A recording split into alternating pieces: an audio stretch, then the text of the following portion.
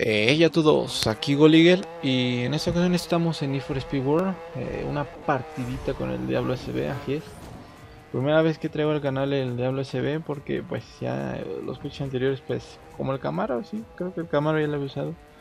Este pues ya los había usado.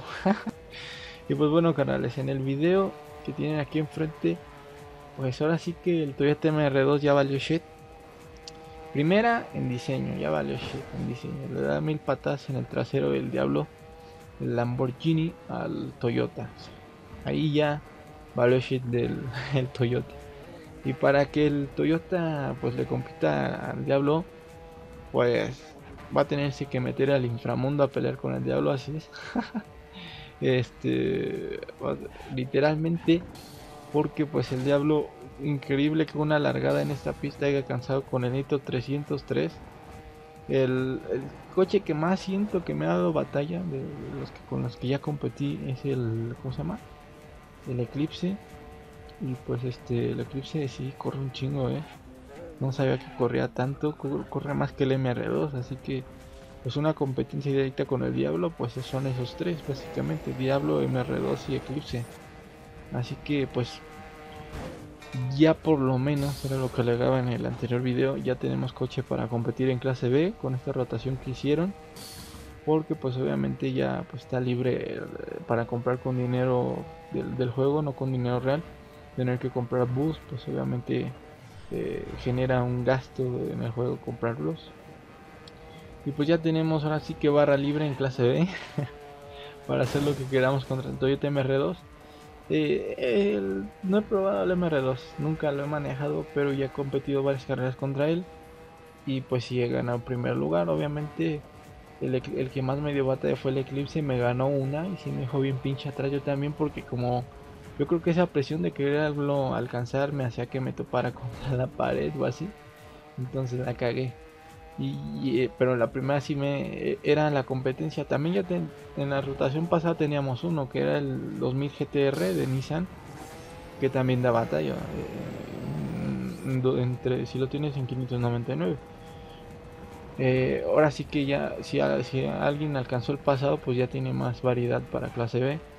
Era lo que yo alegaba porque yo quería que el Camaro ZL1 pues tuviera un poco más nivel me gustaría, también sigo en pie mi palabra de que me gustaría que hubiera tenido más nivel. Que pues obviamente pudiera competir contra el MR2, el Diablo. Y así, de hecho también alcancé en la pasada rotación el GT40. Que es un coche pues no corre mucho, es más o menos como el Viper, algo así. Y pues este está bastante bien, o sea básicamente si, si tú quieres este coches porque eh, tengo el video ese que es bien viral que pones tu Need for Speed World y, sale mi video. Entonces está muy visto y veo gente que me dice no es que tiene para tener coches buenos tienes que comprarlos a huevo mira si tú estás un, un año con el juego vas a tener los coches gratis vas a obtener habilidad para manejar eh, mejor y, y siempre quedar en primer lugar y, vas a tener muchas chances de, ver este muchos eventos que se hacen, las rotaciones, los otros coches gratis. Por ejemplo, me, llegó a mí un, BMW al garaje que ni lo uso. O sea, y hay gente que le puede interesar eh, competir con ese auto, ya sea porque hay quienes lo tienen en la vida real o hay quienes les gusta simplemente el vehículo.